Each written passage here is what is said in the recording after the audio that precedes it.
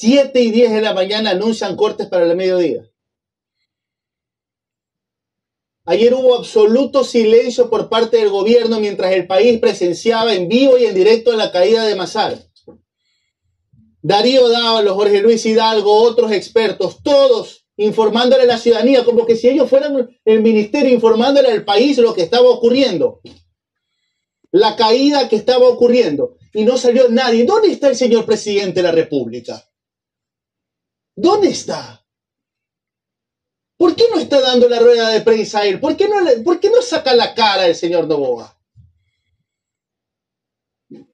Ah, no quiere, no quiere arriesgar el costo político electoral. Pues bueno, está complicado porque usted todavía es el presidente. Usted todavía es el que manda en este país. Usted es el que tiene que darle la cara al país, señor Novoa. A las 7 de la mañana están informando de cortes del mediodía. Señores, ayer el país vio en vivo y en directo cómo caía Mazar. ¿Cómo carajo la gente va a organizarse el día de hoy? ¿Cómo lo va a hacer?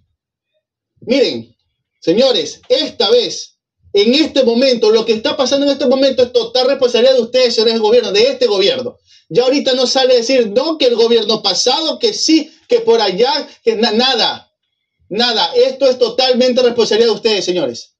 Siete de la mañana informando de cortes del mediodía. ¿Cómo carajo se va a organizar este país?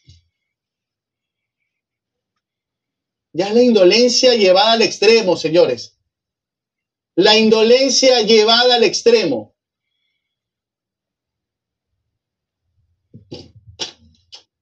¿Dónde está el señor presidente? Usted todavía es el que manda en este país, señor Daniel Novoa.